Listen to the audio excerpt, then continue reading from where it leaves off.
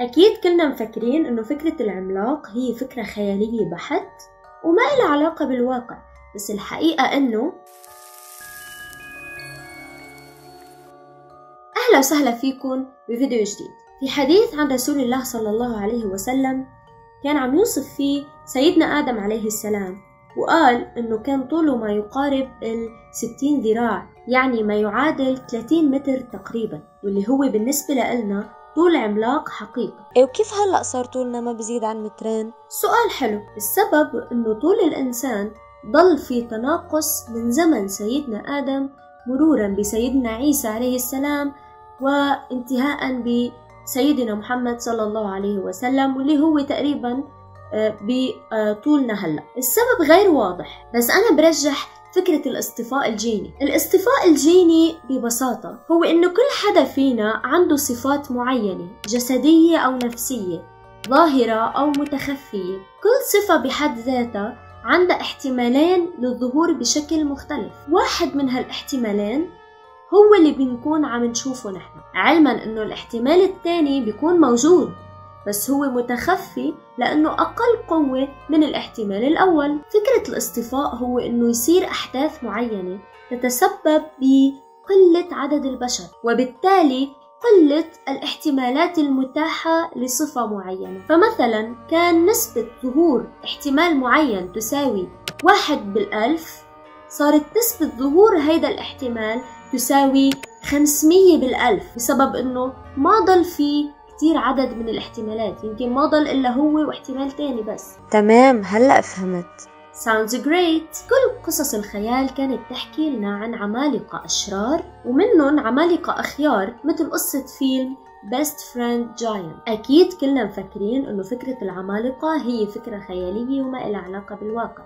بس الحقيقة إنه بالطب ما في شيء اسمه خيال. لازم ندرس ونعرف كل شيء حتى الوريد الصغير اللي ما حدا شايفه نحن عنا له اسم عن جد هلا.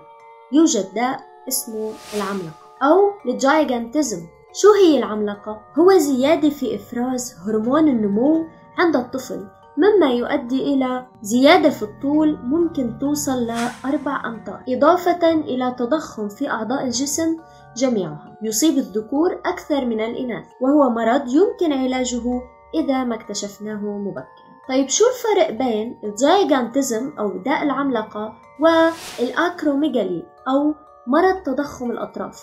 الفرق هو ببساطة إنه إذا حدا ارتفع عنده هرمون النمو قبل سن البلوغ فبيوصل لداء العملاقة أما إذا ارتفع عنده هرمون النمو بعد سن البلوغ بيؤدي في إلى مرض اسمه تضخم الأطراف أو الأكروميجالي والسبب إنه هرمون النمو بعد البلوغ ما بيعود يأثر على الطول ليه هرمون النمو ما بيأثر على الطول بعد البلوغ؟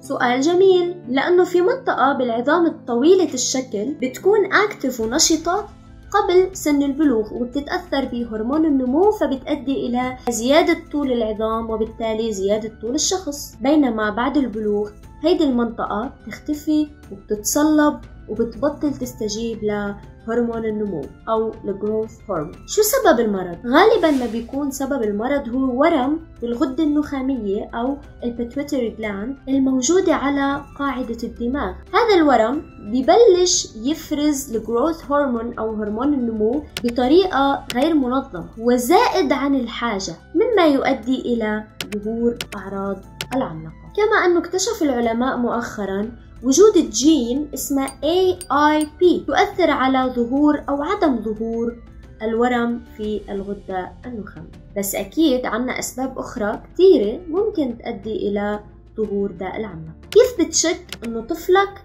عنده هالمرض؟ هذا المرض بيظهر أو بيتمثل ببروز الجبهة والذقن زيادة عن اللزوم إضافة إلى وجود فراغات بين الأسنان تضخم اليدين والقدمين التعرق الزائد مشاكل في الرؤية زيادة في حجم أعضاء الجسم ومنها القلب واللسان. شو هي المشكلات اللي ممكن يسببها هذا المرض إذا ما تعالج؟ واحد الإصابة بداء السكر. اثنين تقلص القدرة على المشي والحركة. ثلاثة التهاب المفاصل. أربعة مشاكل عصبية بالأطراف. خمسة مشاكل قلبية. ما هو العلاج؟ أفضل علاج هو الخضوع للجراحة واستئصال الورم. وهيك بيكون خلص الفيديو تبعنا لليوم.